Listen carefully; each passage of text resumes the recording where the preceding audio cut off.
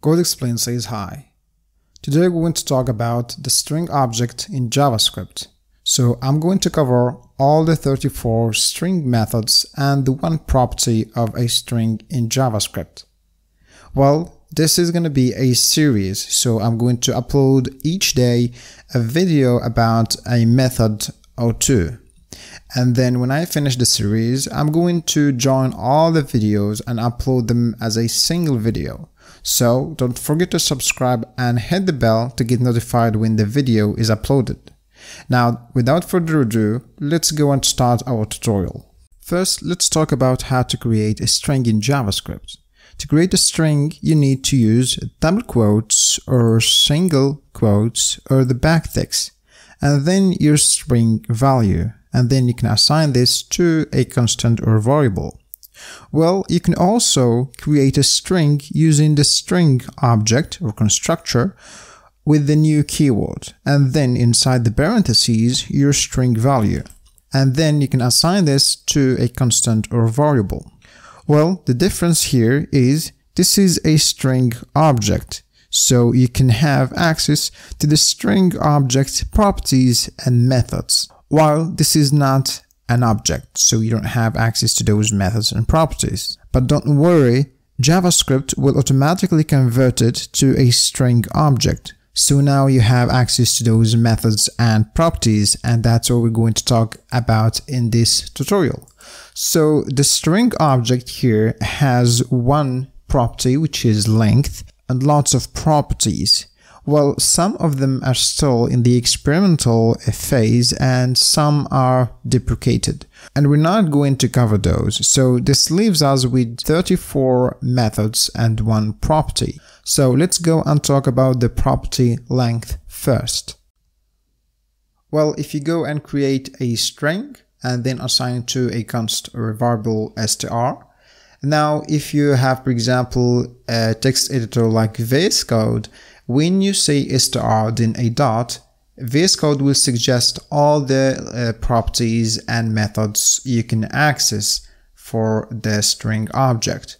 Now if I say str length, now I can access the property length of our string here. Now the length property here is basically how many characters are in your string. So for example, here I have 1, 2, 3, 4, 5, 6, 7, 8, 9, 10, 11, 12, 13, and then 14. So the length of my string here is 14. So simple. And now something I want to discuss before we dive into the methods is how to access a string character. So sometimes you want to access a specific character in your string. So for that, you need to use your string as if it were an array. So you need to say string, then open the square brackets, and then inside the index of the character you want to access.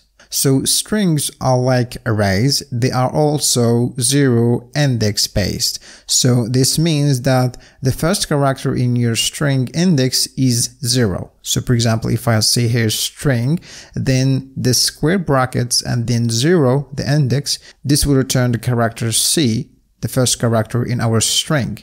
And if I say string, then the index 5 this will turn 0, 1, 2, 3, 4, 5, the character E in this case. And now sometimes you want to access the last character in a string.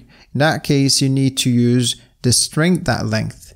But the string that length here is 14 and because this is zero based index, so the last character's index is 13. So 0, 1, 2, 3, 4, 5, 6, 7, 8, 9, 10, 11, 12, 13, which means that the last character's index is all the time for any string is the string that length minus 1.